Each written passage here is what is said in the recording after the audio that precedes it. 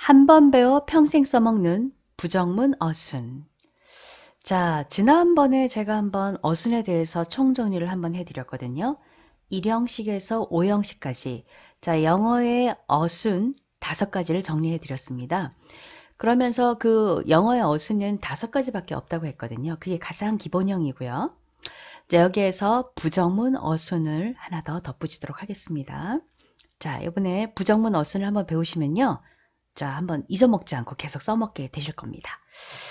자, 지난번에 제가 그 어순 정리를 하면서 가장 기본적인 것이 바로 주어 더하기 동사이다 라고 말했죠. 자, 영어는요, 주어 동사가 붙어 다닌다고 했습니다. 딱 붙어 다닙니다. 한국말과 틀립니다. 자, 그런데 주어 동사가 딱 붙어 다니는 그 기본에, 자, 동사는, 자, 부정문. 자, 부정문을 만들 때는 어떻게 만드느냐? 이렇게 만듭니다. 주어 동사 사이에 don't를 써서 만듭니다. 자, 간단하죠? 주어 동사는 붙어 다니는데 그 붙어 다니는 동사를 딱 띄어서 그 사이에 don't가 들어가면 부정문이 됩니다. 자, 이 don't는요, 어떻게 만드냐면 do not을 줄여가지고 don't가 됩니다. 자, 줄임말인 don't입니다. do not의 줄임말 don't요. 자, 그러면 우리 한번 자, 예문을 들어야 되는데 예문 들기 전에요. 주어 중에서 누가 don't를 쓰냐면요. 바로 I, you, they, we. 나는, 너는, 그들은, 우리는 이런 주어들이 주어 동사 사이에 don't를 써서 부정문을 만듭니다. 자, 예문으로 한번 배워볼게요. 나는 그것을 좋아하지 않는다. 자, 나는요, I죠. 요게 주어입니다. 그것을 이십니다. 그것을 좋아하다 like고요. 않는다는 don't를 씁니다. 자, 부정이라고 하는 거는 않는다, 못한다, 하지 않는다 이런 뜻이죠. 자, 그러면요. 한번 부정문을 만들어 볼 텐데요. 자, 주어 동사가 붙어 다닌다고 했잖아요. 일단 먼저 주어 동사를 붙여 보죠. I like. 자, 주어하고 동사 찾으셔야 됩니다. 영어에서 무조건요. 나는 좋아한다. 근데 좋아하지 않는다. 이렇게 만들 겁니다. 그럼 I don't like. 자, 주어 동사 붙인 그 사이에 don't를 쓰시면 됩니다. 자, 나는 좋아하지 않는다. 무엇을? 그것을.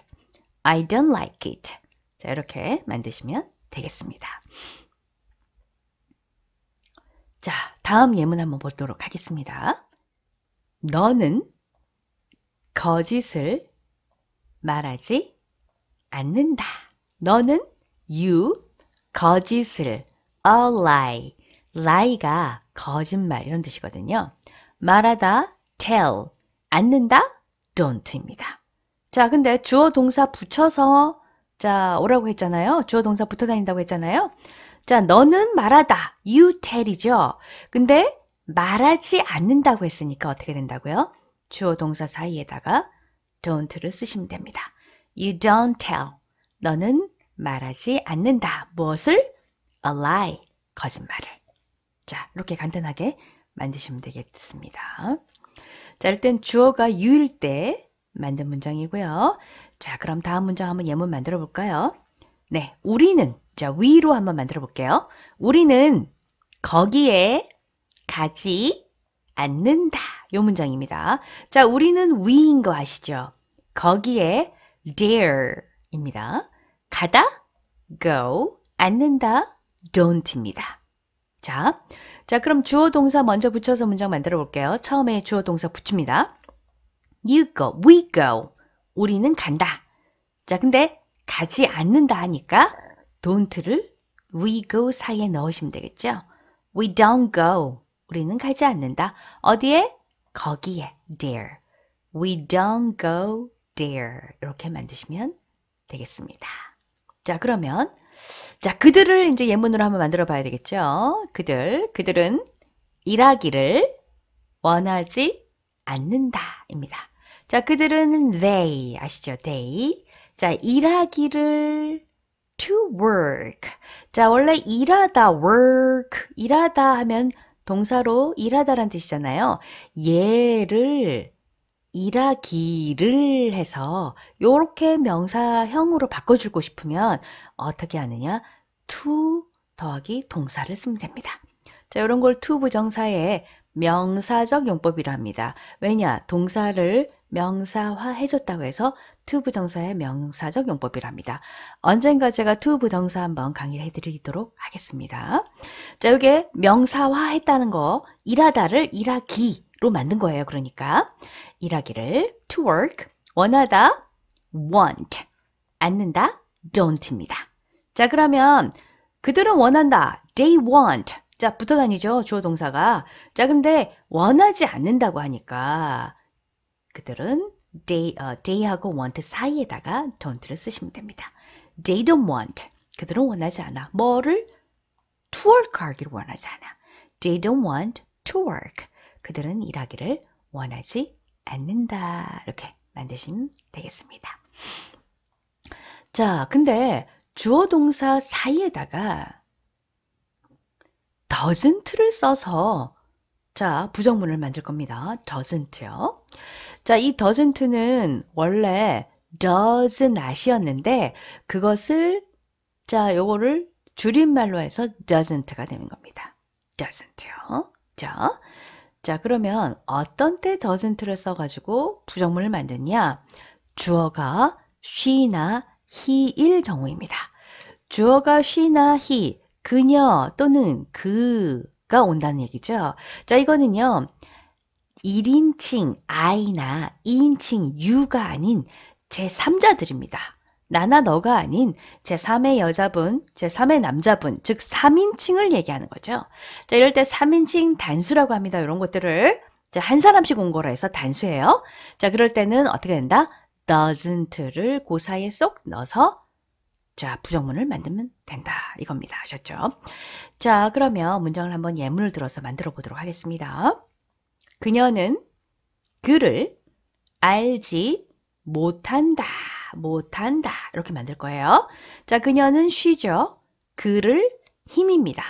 알다, 노고요. 못한다, doesn't를 써서 문장을 만들 겁니다. 이제 여기서 중요한 자, 문법 상의 하나가 나오는데요. 자, 요거는 다른 강의들이 별로 없어서 다들 잘 모르고 계시거나 자, 헷갈려 하시는 분들이 많은데 요번에 잘 알고 가시고요. 자, 요 3인칭 단수에 대한 거는요. 자, 댓글에다가 제가 그 링크를 걸어 둘 테니까 옛날에 강의한 거 한번 들어보세요. She knows. 그녀는 안다. 주어 동사 붙어 다니죠. She knows.